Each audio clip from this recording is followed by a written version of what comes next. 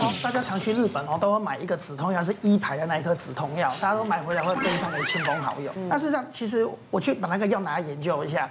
那个一排的止痛药，它里面一部分啊，大概它的含量大概就一百五十毫克左右而已，一百五十毫克，重点到两百毫克。但是我们台湾医生处方的是三百毫克、四百毫克，就剂量比他们重，没道理就是说止痛效果会比较差。是啊是啊，为什么？吸收度是其中一个问题啦，然后再来就是它是复方药，它不是单纯走一部分而已，它里面加了咖啡因进去。那我们知道咖啡因可以拿来治疗头痛，然后呢，它加了一个尿素，它这个尿素是具有镇定作用的尿素，吃了会有一点点想睡觉的。它用个镇定剂让你心情舒缓，然后再加一个咖啡因呢，做让你的血管收缩。听你这样讲完，它它是有加很多东西在里面。它就对，然后它还加了制酸剂在里面，所以其实有像我们一般我们呃非类固醇的消炎药，伊布普芬这一类，我们吃的不会嗜睡，但是你吃了一排的，可能会有点些微的镇定作用，你就不适合去开车了。那像那个刚刚陈医师说过的那个一排的那个哈，我也有很多这个例子，就是说我一个客人也是三四十岁的年轻男生，然后他出国的时候后呢，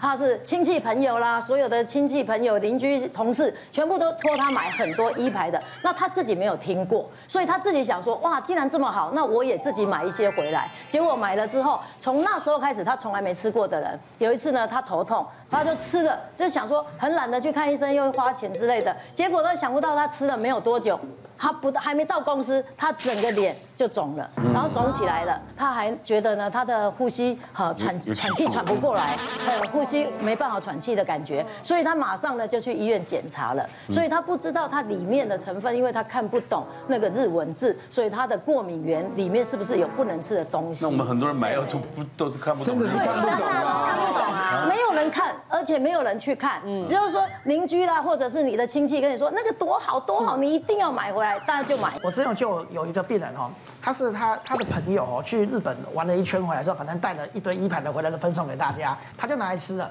他才吃第二颗而已哦，他就整个小便全部都是泡泡了，他就发现，然后接着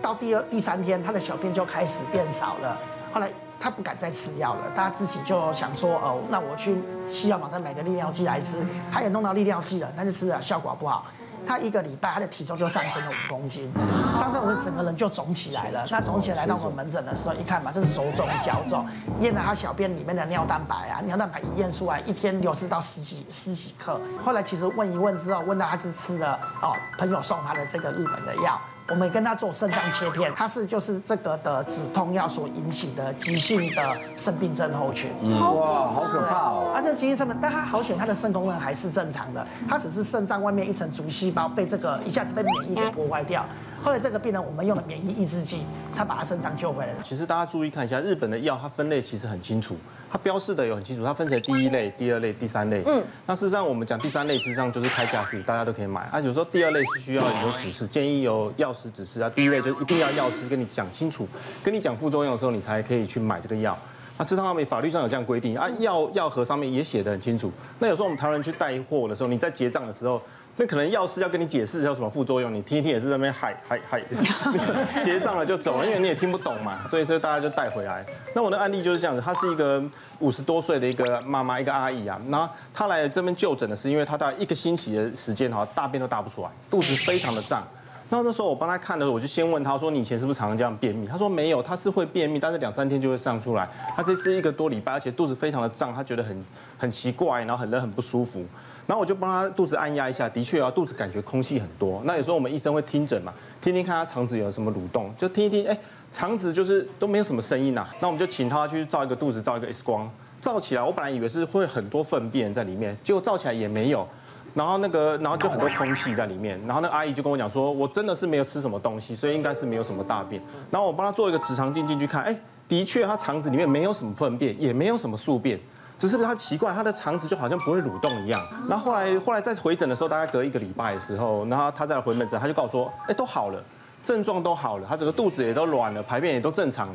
我在想说，我的那个泻药好像也没开那么强，不晓得他为什么会会会那么好。而且他告诉我一个症状，就是说他的口干已经好了。他说他之前他都一直他的口很干，就没有没有口水。我就想说这很奇怪，好像跟我无关啊，因为我只是开一些肠胃药给你，就是口干改善好像没什么。没，我不知道为什么啦。然后他就跟我说，那这样以后就吃我的药就好了。嗯，那我说那不然呢？不然你以前是吃什么药？他就说他是以前吃的是保养的胃药，他的儿子啊，他去日本玩，帮他带一个胃药，因为他以前胃不太好，那个其实到处那么他。说他是标榜是用高丽菜做的味道用高丽菜精对啊，他是说帮助胃黏膜修复，他就觉得说感觉就是保养品，好像不是什么制酸剂。事实上，你看它的成分，它里面有小苏打，但是它有一个成分哦，可能大家不知道，是它有一个叫东良氮碱。东良氮碱它是一个呃副交感神经的抑制剂，嗯，它是来拮抗痉，就是让你比较不会胃痉挛，所以它加这个成分，这个胃药加一个抗痉挛的成分，是有时候舒缓胃的不舒服。像这种东良氮碱哈，不是只有在在肠胃药有出现，它在那个止晕的贴片，像之前就有一个案例，就是说有一个妈妈就把那个止晕的贴片，她就怕小朋友晕车嘛，她也是给他贴在耳后面去止晕。那那个时候小朋友那时候新闻就报道说，他整个人就意识恍惚。他其实原来有说明哦，禁止在十二岁以下儿童用。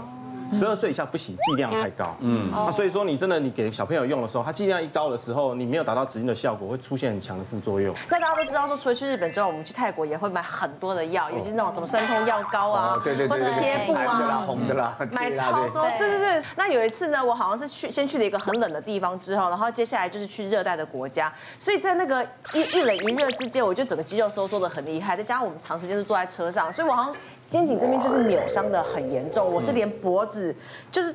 连转头都不太方便的你那已经对发炎了，肌肉发炎。所以我那次就想说，好，我不要让大家工作开天窗，或大家全部要来照顾我一个人，所以我就先抹了。